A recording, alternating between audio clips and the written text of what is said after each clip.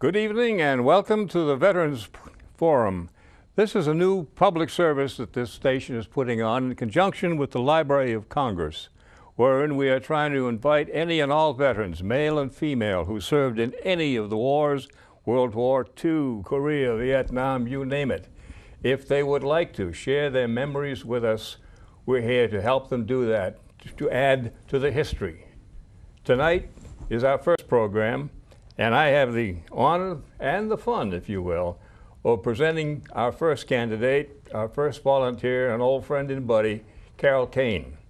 Carroll, for the record, would you pronounce your name and spell your last name, please? Carroll Kane, K A N E. Oh, perfect. What were your branch of your service? Uh, I was in the uh, various branches. Uh, most of the time I was in the Air Force, as it was called in those days, Army Air Force.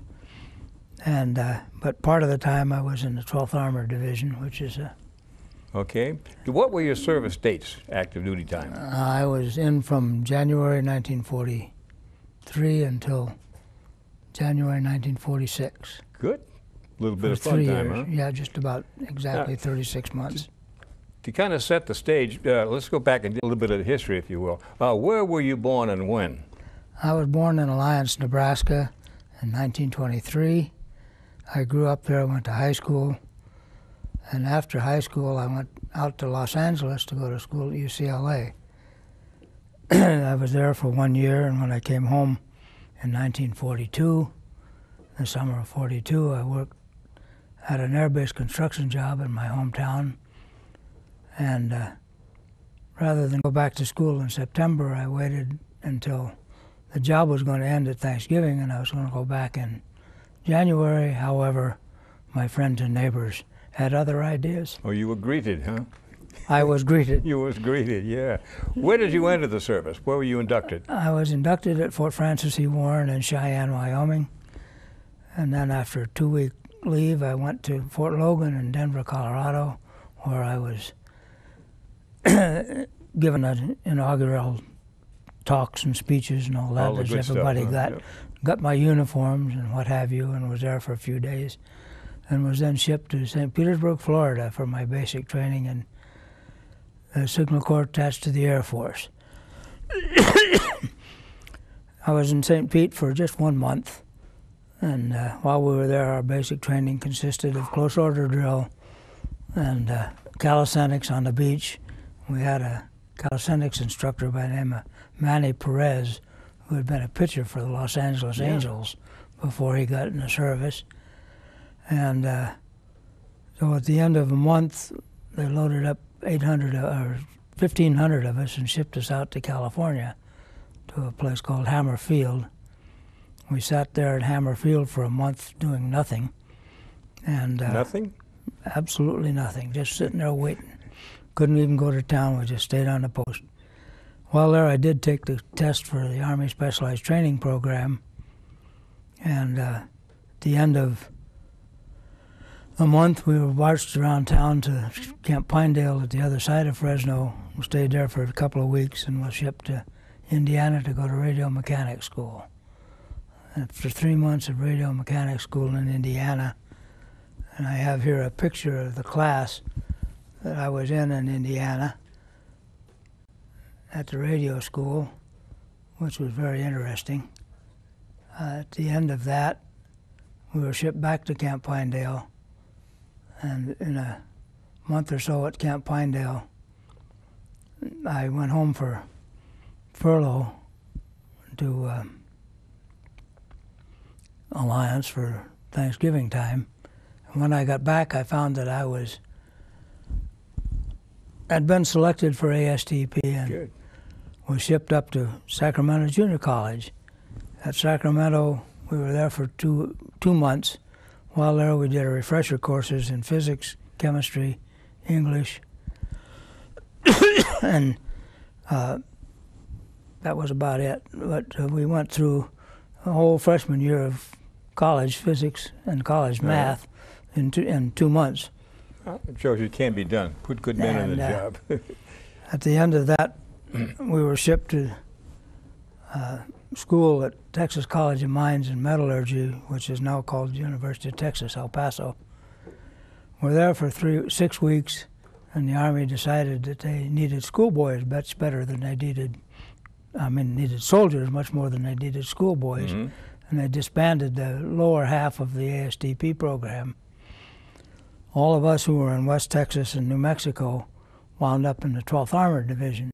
That's a switch. Yeah, so I wound up, as it turned out, in the infantry in the 12th, 12th Armored Division. An armored division is made up of three tank battalions, three artillery battalions, and three infantry battalions with uh, attached engineers, signal corps, and what have you for service outfits. While there, I uh, initially was in a rifle squad, but the first sergeant looked at my records and saw that I was a radio mechanic and assumed that I knew how to operate a radio as well as Big work on one, which wasn't necessarily true. But in any event, I wound up being assigned to operate the command half track radio. And uh, after a while, I got transferred out of the rifle company and into the headquarters section. And uh, it just happened that the communications sergeant, which is the only communications personnel in an armored infantry company, they have six radios, but they only have one person assigned as communications man. So the rest of them are just operated by people in the squads or what have you. So I got transferred to headquarters section to work with the, Now keep the rifle Communication squad up sergeant. Manning, yeah. rather than having the rifle squad lose a man every time we went in the Yeah. field or something. Well, it just happened that the communications sergeant's first name was Carroll also. Oh, Uh, and he's the second person I'd ever met who had the same first name as I did. And uh, after a while, it got to the point where if the company commander was looking for something to do with communications, he just hollered Carroll, and he didn't care which one got there who first? showed up. so uh, we went through training in Texas, and in September we were shipped to Nyack, New York, to Camp Shanks, to be get ready to go to overseas. Uh-huh. We were there for about two weeks, and then we got on the train and went to Hoboken. POE? Got on a ferry boat and went across the, the piers in, in uh, Manhattan and got aboard the Empress of Australia, which was originally had been a North German Lloyd liner in, uh, that the Germans had passed over to the English as part of reparations from World War One.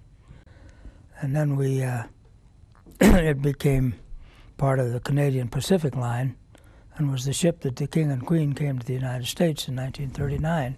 And you had the same privilege and so yes, forth? we did. Fine wining and dining, did. huh?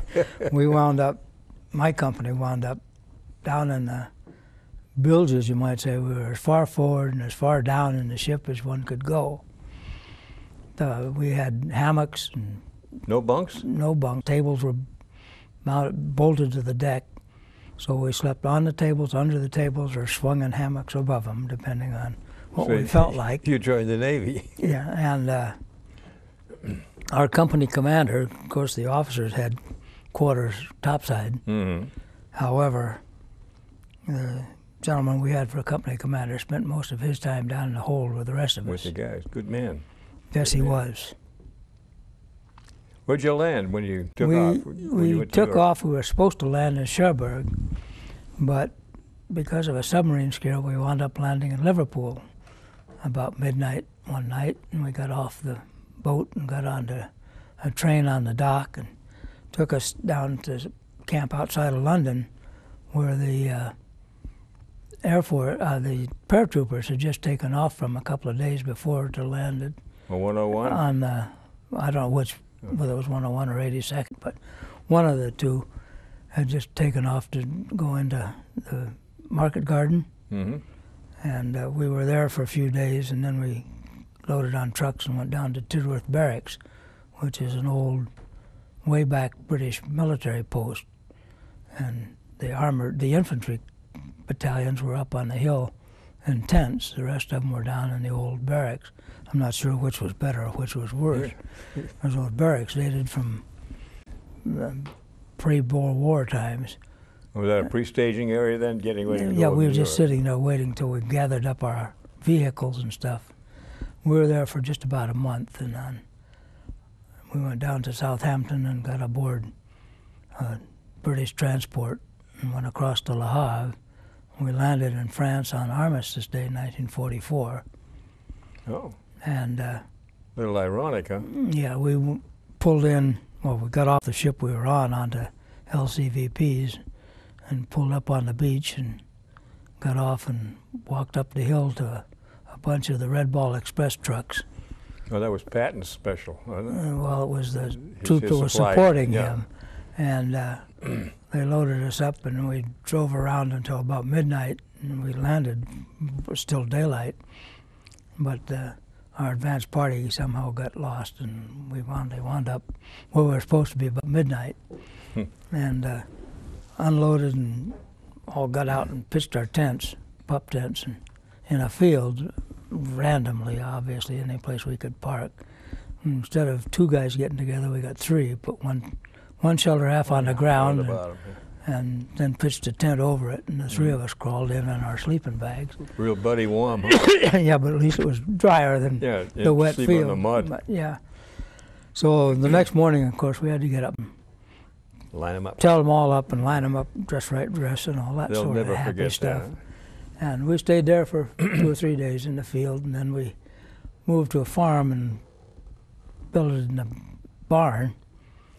And uh, we were there for oh probably a week or so, and then we got on train on the trucks and went down to a place called Lunéville, and we were there for a few days, and then uh, we went up to uh, outside of a place called Rohrbach where the division went first into action on the 12th of December. And uh, 56 was in support, and we were just up on the field watching the action, really, as these people tried to take this little town of Bischweiler. And uh, when they took it and we got ready to go into town, all the tracks in the company except the CP track were stuck in the mud. so we had to wait. we got in, but the rest of them had to wait until they dug up a tank retriever to pull them out. And uh, we stayed there in in uh, Bischweiler for uh, a few days. Uh, when we, I had been sitting in the half track most of this time, op- op- operating radio, of course. Mhm. So I, like we were trained to do, you know, took your boots off, massage your feet, changed Yeah, your keep your socks socks every on. day, and all that time stuff. But anyway, when we got into this town, we moved into these houses and uh, got into feather bed, and the frostbite started to leave, and Oh. feet got very uncomfortable, to say the least. So we were there for a few days, and one interesting incident that happened: the CP was in this house, and the company commander had his office in the front room, and those houses in that part of Alsace are uh, the do- doors were on the side of the house, not on the front facing the street. And there was a, a little al- al- alcove, and the barn's here, the house is here, and the door was over here facing the barn. So uh, myself and another fellow were standing guard inside the entryway of the house there, the little foyer. And uh, every time somebody he heard a little noise, he'd click off his safety. And smart ass that I was, I said, "No, you don't need to do that." So I put the rifle in front of me and I rocked my finger forward, pushed the safety off, rocked it back, and kaboom! Blew a hole Blew through the door. Fortunately, no, but I did blow a hole through the door. So after everybody comes rushing out of the back rooms and everything, what's going on? Nothing, nothing. going on back. And when everything was quiet, front door opened, room from the front room, and Captain Fairburn sticks his head out. Safe if I come out now, Carroll? of course, he could have court-martialed me, but Oh, that was worse, really. yeah, you weren't, you weren't doing as they used to do, frag 'em. But uh, not him. No. Nobody was going to do that to him. And uh, so, anyway, we wound up there for a while, and then we moved up to another place called Etweiler inside of Germany, just inside the border, relieved the 80th Infantry Division. And uh, they uh, 80th went down to help Patton. Uh, he was they were in Patton's army, and they moved clear across the back of his whole army and went down to relieve Bastogne, them and the Fourth Armored. So we stayed in Etweiler through Christmas week, and uh, one of the interesting things that happened at Christmas was the company was dug in on a hill, and we company commander had his CP set up in a house. And Carroll Moyer and I went back to battalion for something one Sunday morning, and on the way back to company, we saw this Christmas tree, or this fir tree that had been knocked down by artillery. So we Borrowed stopped. it? We stopped and cut the top Uh-huh. six feet or so off of it, brought it back, and asked the old man if we could put it up in the CP. Of course, he agreed, and so we de- decorated it with the foil, colored foils from the inside of the battery. The packages, batteries were sealed in. And there was a whole bunch of window out on the forward slope of the hill in front of a, where the guys were dug in.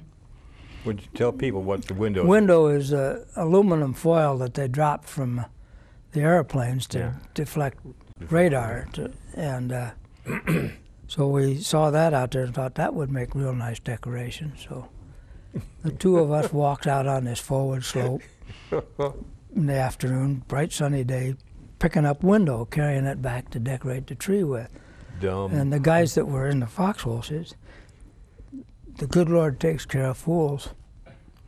Because anybody around, any of us that stuck our head up got shot at, and you two clowns walk all over this forward slope, picking up window, and nobody says anything to you.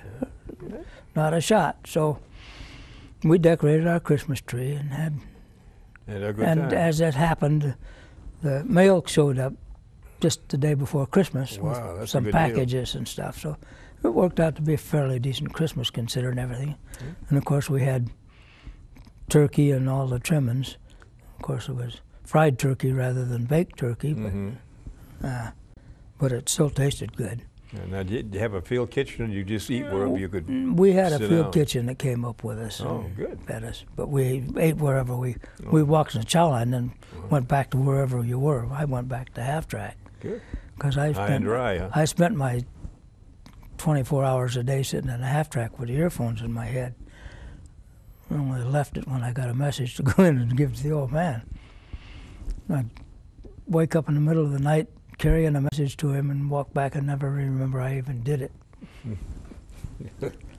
and uh, so we sat there. Uh, one interesting thing that happened there, there was a, a light tank with a 37 millimeter gun on it parked on one side of the doorway, which the tank battalion that we were working with had uh, designated to support Ca- Captain Fairburn. And then there was a, a cavalry recon vehicle, which also had a 37 millimeter on it, sitting on the other side of the doorway. And across the square was the church, and on the steps of the church was our gas dump. All uh, ca- jerry, jerry cans, cans, of oh, yeah. gasoline. Well, sometime during the night, there was some noise, and one of the guys in one of I don't remember which one of the two vehicles it was, but whichever one it was, heard the noise and didn't bother to look around. He just pulled the lanyard and kaboom, Blew it. 37 millimeter with uh, shrap, uh, shrapnel shell went across the way and perforated all those gas cans. so our gas dump was draining down the church steps. Uh, we stayed there for a few days and then went back into reserve for from the first of the year until the 7th of January, at which time we were ordered up to attack the town of Herrlisheim and Offendorf, the two towns. And to get to Herrlisheim, we had to go through a place that we chose to call the Waterworks. It was a water regulating plant on the Motor River. And uh, the bridge across the river was knocked out, but the, this building was a straddle of the river, so we could walk through the building and get Oh. across the river, but the tanks couldn't get across. So instead of operating as the two task forces that we had been when we started, the 714th uh, Tank Battalion, less one company, and uh, the 56th had that tank battalion attached to it. And then uh, we were attached with the tank battalion. And uh, so because we couldn't get, they couldn't get across the bridge, we regrouped as just the ta- uh, infantry battalion to attack the town of Herrlisheim, which we did the next day on the 8th, and uh, got into the town. Uh, before the first day, though, when we were up there, uh, my one of my best friends, a fellow by the name of Bert Kruger, whose picture I have here, I think we showed it once before, but this is Bert here on the side. Uh, was was up uh, at going outside the waterworks there, and uh, he was shot and killed. Mm. But they didn't know he was ki- killed at the time, so Captain Fairburn had gone up to see what was going on, and I was stayed back with the company commander's tank of the 714th C Company, and uh, when we uh, got up there, or when the captain got up there, he saw well there were two guys wounded out there. He went out to get pull them back, and he got shot in the shoulder. However, it turns out that the two guys that he went out to get were both dead. Both dead. yeah. And uh, he came back to the tank that I was on, gave me his personal pistol to hang on to and turn into the supply truck when we got back to it. And uh, he walked on back to the aid station, and that's the last I saw of him. However, he did rejoin the company sometime later, but by that time I was gone. Oh. And uh, so the next morning we did get into the town of Herrlisheim and spent the night there. And uh, the next morning I we went down to Lieutenant Russell and myself ran down from where we were down to the end where Captain Dress of A Company, who was the ranking officer in town, uh, had his CP, and we ran down there to see what was going on. And uh, as we ran in the door, somebody hands us a bottle of schnapps. Of course, we hadn't had anything to eat for a couple of days, so a couple hit of you, shots huh? of schnapps. uh, we didn't need to weave going back. I didn't need to consciously weave anyway. But anyway, we got back, and uh, while we were standing there in this house, uh, a round came in the window, and the fellow that was standing right in the doorway uh, blew the top out of his head, and I got a face full of splinters and stuff. That were your first wounded? That was my first Yeah. wound, and uh, so the lieutenant sent me. We, by that time, some light tanks had gotten into town, so he sent me back to the aid station on the, on one of the tanks. Another fella who had gotten a piece out of his neck when he that shell went off was on the tank in front of me. On the way back, that tank got hit by a mortar shell, Ooh. And when he got back to the aid station, he had lost an arm and part of a leg. And Bad. fortunately, I didn't lose anything more than I already had.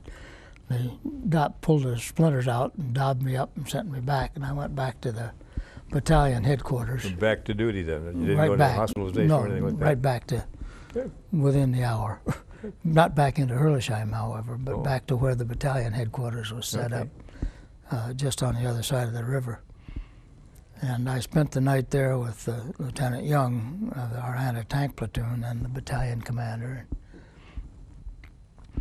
During the night, they got they ordered uh, what was left of the battalion to pull out of Herrlisheim, which they did without too much problem.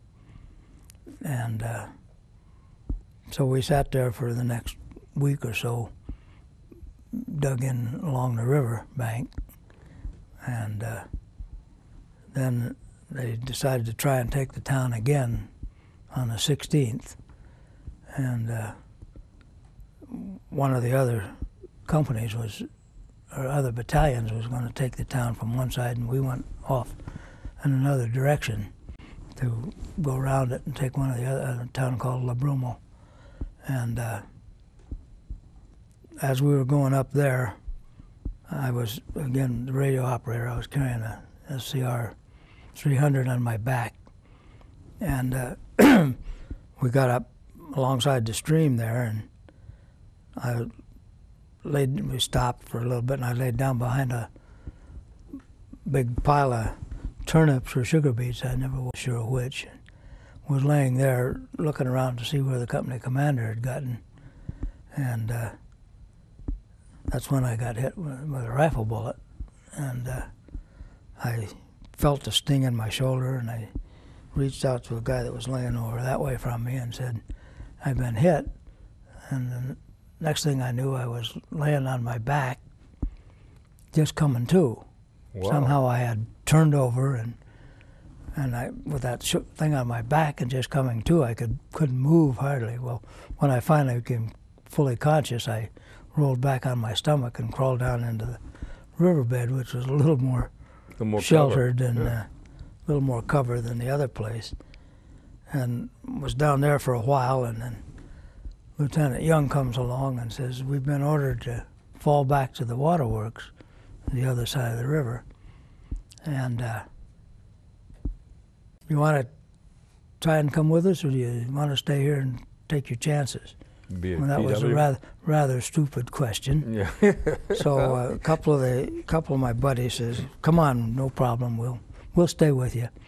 So Good. we ran down the water bank, water, river bank, heading toward the waterworks. And about halfway down, I ran out of breath. And said, What did it go into your shoulder through your lung? It went in this shoulder, went through the right lung, and lodged in the mediastina, which is the wall between the two lungs. Oh, And uh, if one of these fingers is the aorta and the other is the pulmonary artery, it was right between them. When he went in to get it out, and he found that's where it was. But anyhow, so these two guys said, "Well, we'll wait for you." So I took a breather, and then we got back to the aid station. And, how uh, far did you have to travel though? Oh, probably quarter, three quarter to a half a mile somewhere in there. It wasn't a pleasant trip. No. So we got back there, and a friend of mine who happened to be in the 17th Battalion, but he was a medic with the 17th, but he and I had been in ASTP together. And uh, so he, I, the only place it hurt was in the middle of my back, which cracked a rib as it was wandering around in there.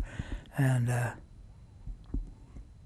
so he just cut all my clothes off straight down the middle of my back and peeled it back, and he sees this little teeny hole in my shoulder and says, uh, Well, we put a band aid on it, and then they loaded me up on the hood of a half track back to the aid station. Well, on the way back to the aid station, the half track I was on, on ran into a Jeep. the oh. driver gets out and says, I'll see you later. And he backed out and proceeds to the aid station. I don't know whether he ever did see the Jeep driver or not, but it was obviously a half track. It was a pretty good job on a Jeep. Oh yeah, And they uh, don't mess around. uh, so I got back to the aid station. They took one look at me, hung a tag on me, and just sat there outside the building until an ambulance came around and picked me up and hauled me back to the division clearing station. And up to this time, I was feeling pretty good. It wasn't bothering me too much.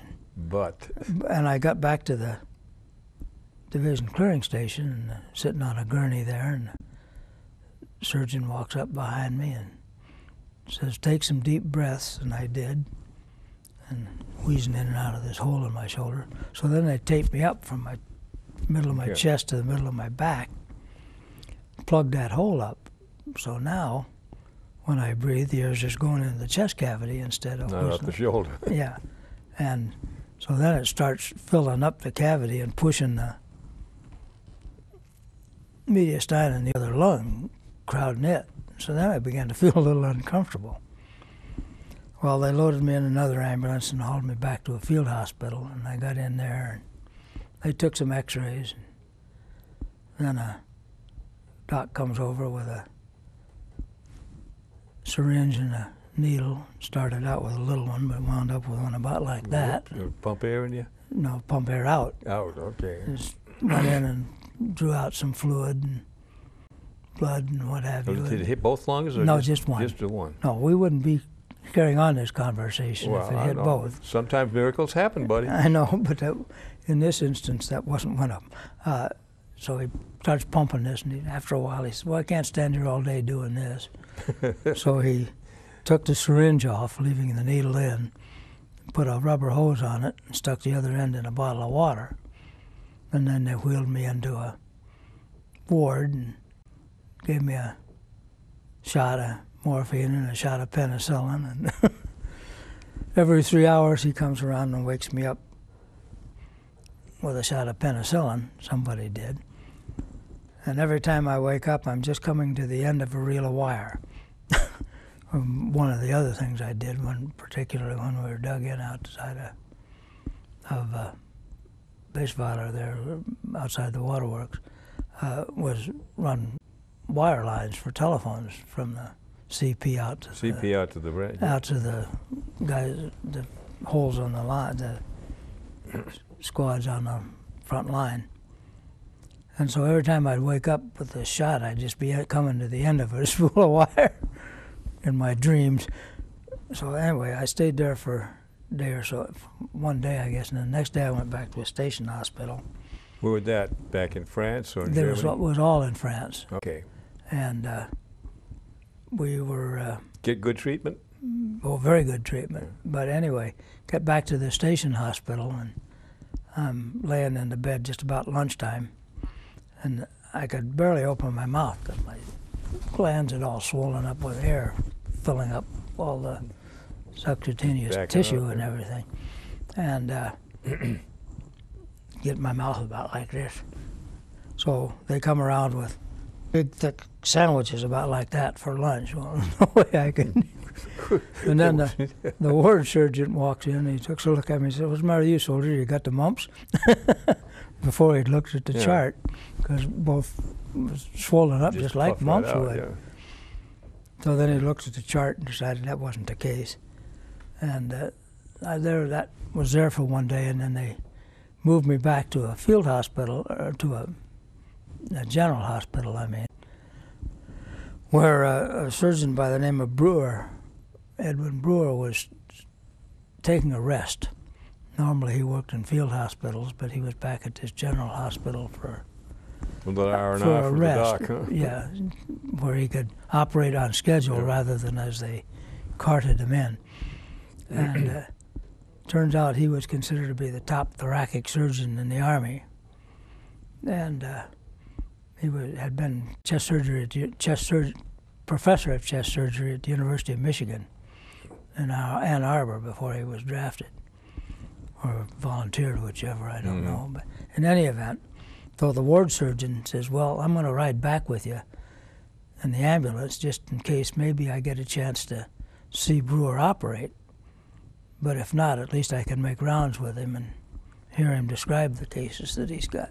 He had a chest ward of about 200 patients there that, in the hospital I wound up in, which was an old was housed in a Well, how long were you hospitalized? 90 days total. Ooh. but uh, I was there at the 21st General for uh, about half of it, and uh, that's where I was operated on. And then, well, when I first got back there, they just kept giving me blood transfusions and tapping my chest with the needle draining off fluid. And I was there for about a week, and they moved me upstairs. And uh, I wasn't getting penicillin anymore, and then pretty soon they come around and tied a red, little red bow on the bottom of my bed, which says penicillin again. And then the chest medical doctor who had been tapping my chest uh, said, "Well, they're going to operate on you tomorrow." Well, it turned out it was the day after tomorrow before they did. Oh, but, They did it. but so then I got wheeled in, and uh, you know what an operating room looks like in the states in a hmm hospital with all the big fancy lights and uh, tables and all that. Well, this operating room was a room about as wide as from here to the wall, and that way from here to the wall. And the operating table was a gurney, and the lights were four 200 watt lights in a tin shield. And uh, so I'm laying there on the bed. Uh, Captain Hayflick, the anesthesiologist, uh, gets ready to put me under with some ether, so he puts the cone on my face, and I start to say the Hail Mary, and Captain Brewer says, or Major Brewer says, uh, just relax, Carroll. He says, Captain Hayflick has put more men to sleep for chest surgery than any other man in the Army. Good. Which, So by, were in good which by implication says that he'd done more surgery than anybody else since they were a team. And uh, some six hours later, I woke up back in the ward and uh, with Captain Hayflick sticking a needle in my arm to give me a blood transfusion. Well, most places when they give you a blood transfusion, they do it right in the joint, so you got to lock your arm. And I'll clue you, taking a pint of blood takes an awful lot longer than giving one. Well, yeah, it's all gravity feed. Uh, but yeah, and it goes pretty slow. Yeah. But uh, in any case, Captain Hayflick put it in down here in the forearm, so you didn't have to lock your elbow for that hour or so while Oh. you get that, which was far more comfortable. So I was in the hospital there at the 21st General for about six weeks. By that time, I was ambulatory, and so I got shipped down to the Third General Hospital in Aix-en-Provence, which is just outside of Marseille, and was down there for six weeks or so. And as it happened, just uh, down there, I had pajamas and boots, and that was it, and a bathrobe. So we were walking around. We got to go into town to USO shows at the theater, at the Opera House in Aix. And In just your bathrobe? just in our bathrobes walking into town. well, there was a lot of us there. and uh, so I saw a couple of USO shows there. And uh, one of the things I remember was a, uh, just a variety show, and there was this young lady singing, and very short. She had a pretty well low cut gown on, and the guy that was with her was about six foot two or six foot three. So he's standing there Uh-huh. looking down the front That, that's what you're fighting for. and uh, Bob Singing. Joke. uh, working for the Yankee dollar. Yeah. Si, And, uh, senor. Uh, so And by now, though, had they sent any wires home to your folks? Oh, many, you, many. You know, be advised that such and such. oh and yes, many many. I can show you a couple of those here. I Just happen right- to have a few thousand. Well, my sister saved all this stuff Oh, good. and made up a scrapbook. So there's the the first one that they got, which was sent on was received on 6:45 p.m. on the 7th of February.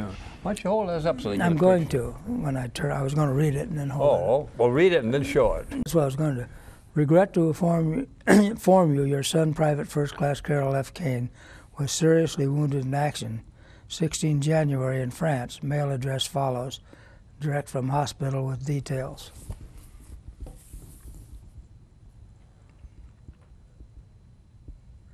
And then for the duration of my stay in the hospital, they got periodic updates from the Red Cross Oh, good. and postcards.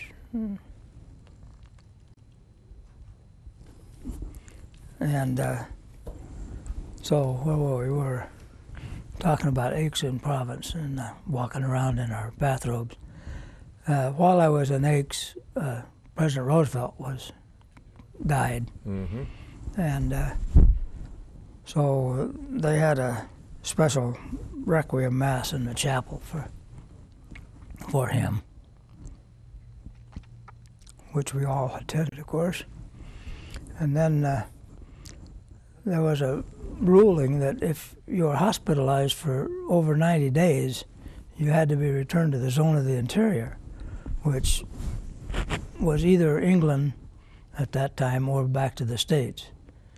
Well, on, there was another fellow there who was in, I think he was in the 82nd. He was a mortar gunner.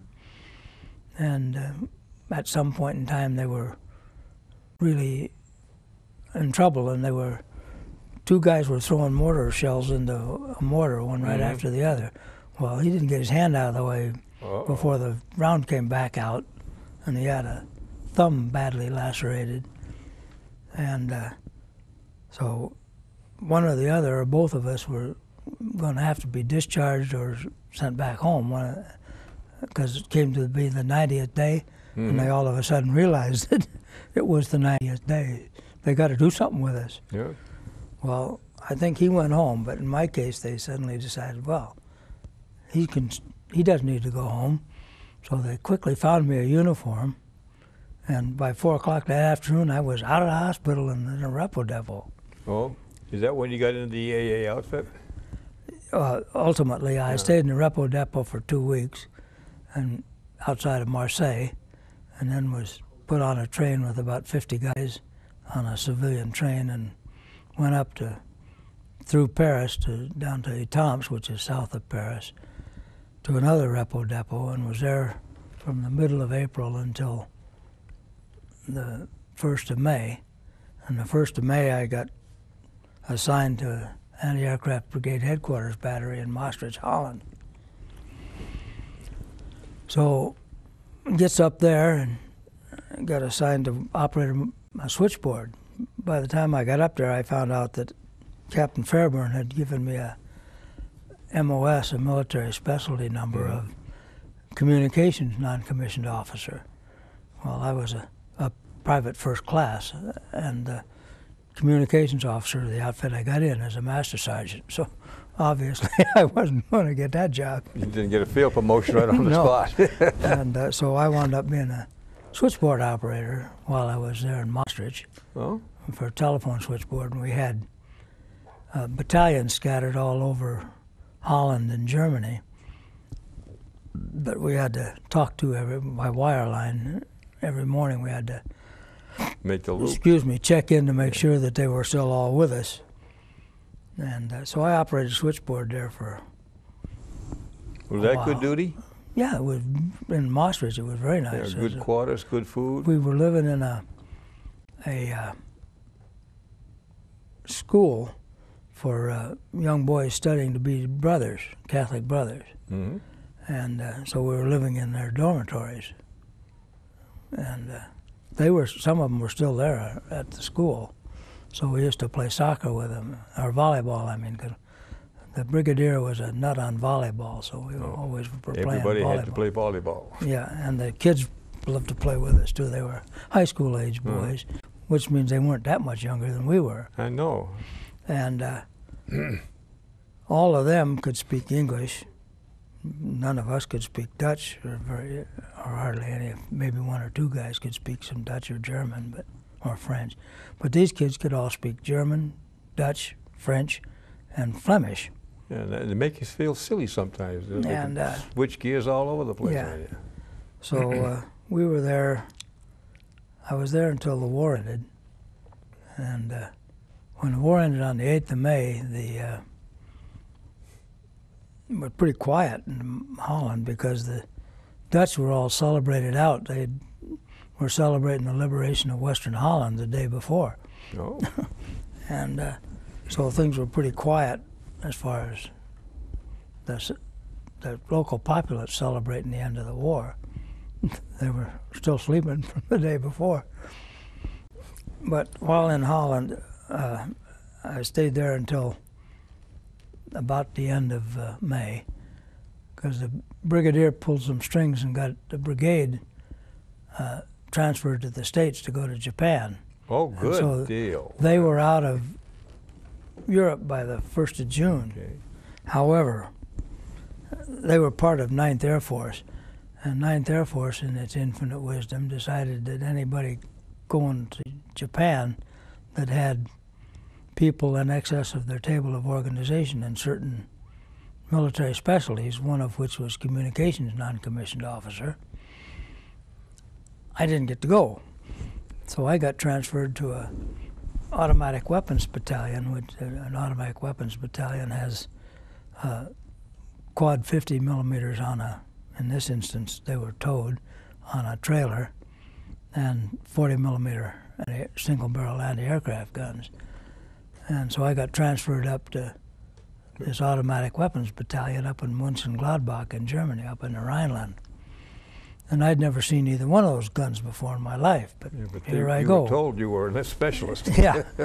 So I gets up there, and they didn't need a communications non-com either. So I wound up as a basic non-specialist in the gun section. Was that how you qualified for your combat entry badge? No, I com- qualified for that way, way back. Yeah, okay. Uh, and uh, so in uh, up in Mönchengladbach, uh, being a disabled vet, so to speak, whenever they went on long marches or anything else, I didn't. I managed to weasel out of doing any of that Oh. kind of nonsense. So I stayed stayed in, in camp and did whatever I had to or could, operate a switchboard or something. Oh, yeah. And uh, again, I wound up being a switchboard operator after I got up to Gladbach. And we were in a British zone of occupation, so we stayed there until for, around the Fourth of July. Well, by the time that time we were able to, right after the war ended, we were able to ride home and tell somebody where really we happened. were. Hmm. No, where we were physically Okay. located. And uh, my mother used to stay the stations every day, and the, during the wintertime, the church at home was kind of dark after she got off work. So she'd go to the hospital, which was just a block up the street. It was a Catholic hospital run by the nuns, uh, Sisters of St. Francis. And uh, one of the nuns up there had a sister who was also a nun, but she was in Maastricht. And uh, they hadn't heard from her for quite some time, many months, maybe even years. And mother was talking to one of the nuns after she said stations one night and said, Sister so and so, or said that I was in Maastricht. And she said, Oh, Sister so and so has a sister that's in Maastricht and we haven't heard from her. Do you think Carroll could possibly Yeah.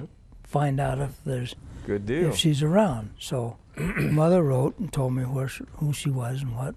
So I went downtown. From well, by that time I was in Mönchengladbach, but I got a pass to go back to Maastricht and went down to the place where the nuns were supposed to be, their convent downtown, and found out that the army had taken that over and the nuns weren't there.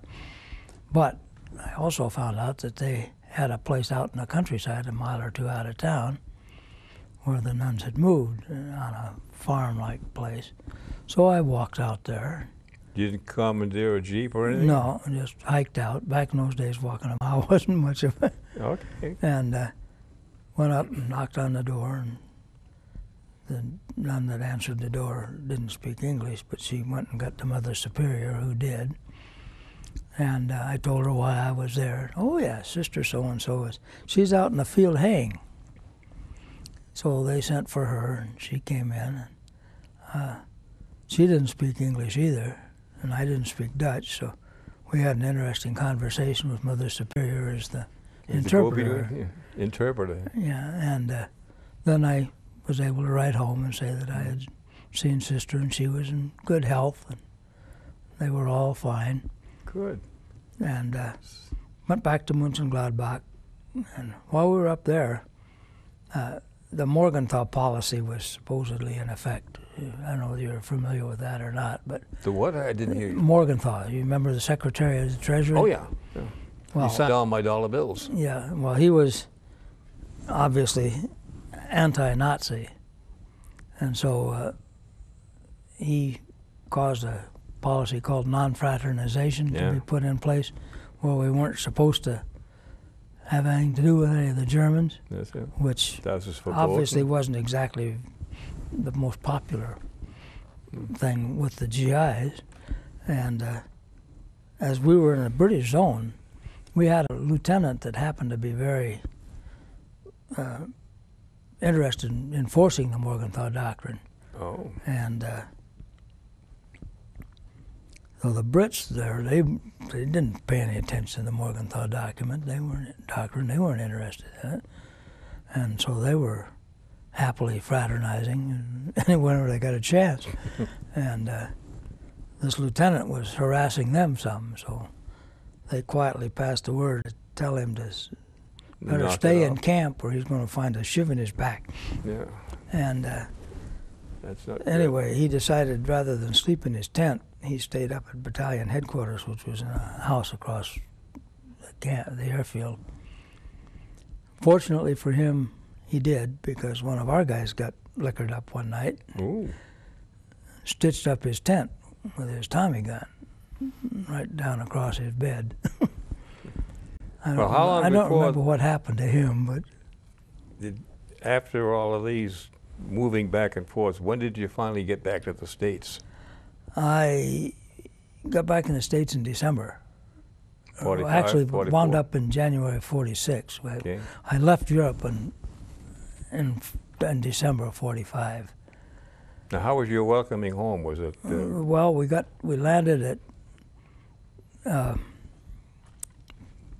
uh, Newport News oh, and wound up at Camp Patrick Henry, and of course they laid on a big, big steak dinner for us with Oh, yeah. uh, all kinds of milk, yeah. which we hadn't had much of before. Not the powdered cow. No, and uh, was there for just a couple of days, really. Okay. And uh, When you got home, what was the greeting? Did you just kind of walk in on mom and say, "Hey, it's all over. I'm home," or were well, they expecting you?